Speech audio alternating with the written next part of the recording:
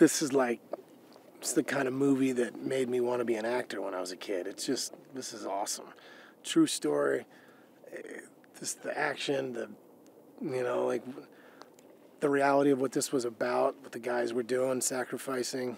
You know, uh, this moment in history for us. I mean, everybody knows where they were at when you know they woke up to the news of 9/11, and you know, and then it just just kind of the magnitude of this story. I was like, yeah, oh, I got to do this. I got to do this.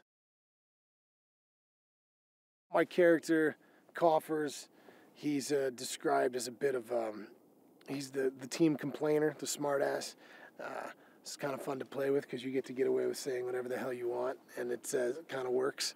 Um, yeah, I mean, and these kind of these things have sort of evolved as well as with the with the script and um, and and how we're shooting things and, and the story. But yeah, the, these guys are all they're all good at everything. Some specialize, obviously, in certain things, but um, I mean that's the nature of, of a group like this. The, the in the special forces that they every one of them knows how to do everything.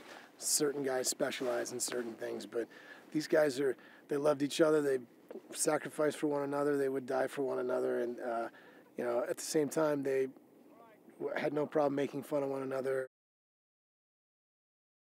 What I want people to take away from this is how wonderful these people are, how they're fighting for a, their lives and their way of life, um, and for themselves, their family, their future generations, and what they did is, and the relationship between the American military and the Afghani people and, and Dostum and the Northern Alliance and how they um, how they work together and they still are and, and in a way. It's a, it's a it's a pretty incredible story.